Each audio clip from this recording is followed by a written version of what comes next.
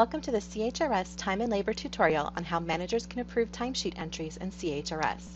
You can use the topics in the notes for this video to jump to specific sections within the video. Closed captions are available for this presentation. Click on the CC icon in the play bar to enable closed captions. To access the approvals for timesheets, log into the campus portal and select Manager Homepage in the Titan Online widget. Select Fullerton as the campus, then click Login. First, check the Team Time tile to see if there are any exceptions. Exceptions are possible errors on a timesheet, such as an employee entering more than 40 hours worked in a single week.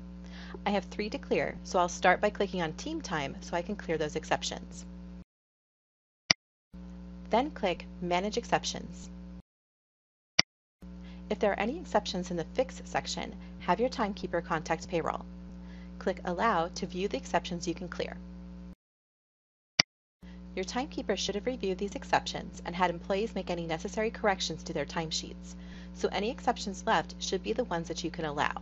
However, check with your timekeeper if you are not sure, because you can allow only specific exceptions if needed. You can find a link to the Managing Exceptions guide in the notes for this video, which has more details about exceptions. To allow and clear all of the exceptions, click on the checkbox above the list of exceptions.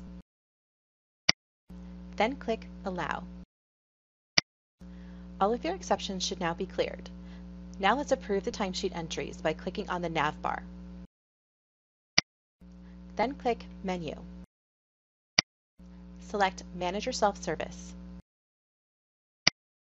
Then select Time Management. Select Approve Time and Exceptions. Then select Payable Time. You may want to add this page as a favorite to make it easier to get to this page each month. A link to our guide on creating favorites can be found in the notes for this video. First, click on the magnifying glass button to select a time reporter group. Depending on your access, you may see many time reporter groups. The description can help you find the one you want to select. In this example, note that I have access to just student health and counseling, but one of the time reporter groups is for student employee timesheets, and the others for faculty staff timesheets. I'm going to select the faculty staff time reporter group, but the following steps will apply to student employee timesheets as well. Let's scroll down to enter more criteria. You may want to adjust the dates that you are viewing so they match the pay period that you are approving.